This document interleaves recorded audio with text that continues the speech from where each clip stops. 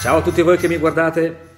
Oggi proverò a dare un messaggio per la terza domenica di Avvento, rivolgendomi al capitolo terzo di San Luca, che descrive come molte persone si rivolgevano a Giovanni il Battista per chiedergli che cosa fare. Le folle vanno dal Battista a chiedergli che cosa fare. I pubblicani e perfino i soldati vanno da Giovanni il Battista a chiedergli che cosa fare. Di fronte a una tale richiesta mi sono domandato, ma perché tutta quella gente va dal Battista a chiedergli che cosa fare? E la risposta che mi sono dato, forse quella più banale, magari quella più scontata, certamente quella più semplice, è che quella gente si sia rivolta al Battista per chiedergli che cosa fare, forse perché, perché non lo sapeva, può darsi che non lo sapesse. Anche a me capita spesso di non sapere cosa fare e credo che un po' a tutti ogni tanto succeda di non sapere cosa fare. E dato che noi siamo sempre alla ricerca di risposte, poteva essere normale che quella gente si fosse rivolta anche a Giovanni il Battista.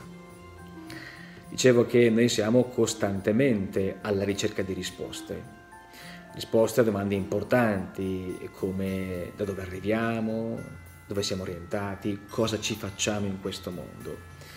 Il guaio qual è per noi oggi? Che è talmente alta l'ansia di risposta che purtroppo arriviamo a credere un po' a tutto. Non è un caso che siano sempre più in aumento i casi di eh, richieste a indovini o a maghi circa la nostra vita, la nostra condizione, oppure che ci sia qualcuno che possa abbindolarci. Dicevo, noi siamo costantemente alla ricerca di risposte, per questo crediamo un po' a tutto. Perché questo? Perché il non sapere ci spaventa. Il non sapere eh, ci mette in difficoltà perché eh, non sapere vuol dire non conoscere e non conoscere vuol dire non poter gestire e non gestire ci mette in difficoltà. Dire che siamo vittime un po' della situazione, delle imprevedibilità. Noi vorremmo avere le cose sempre sotto controllo, ma questo non è possibile. Non mi sono però fermato solamente a domandarmi eh, perché quella gente avesse chiesto al Battista cosa fare. Mi sono domandato anche ma perché proprio lui? Perché lui e non un altro?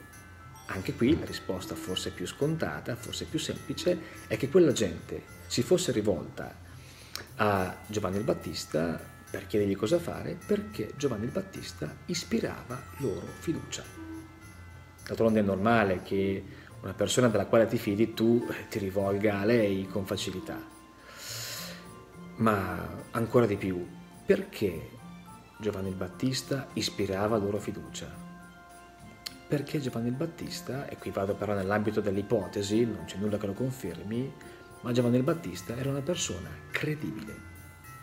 Ma che cosa vuol dire essere credibile? Vuol dire che una persona parla più con la vita che con le parole non è un forzato gioco di parole, vuol dire che quando uno è vero a se stesso, uno è coerente, questo paga in termini di fiducia.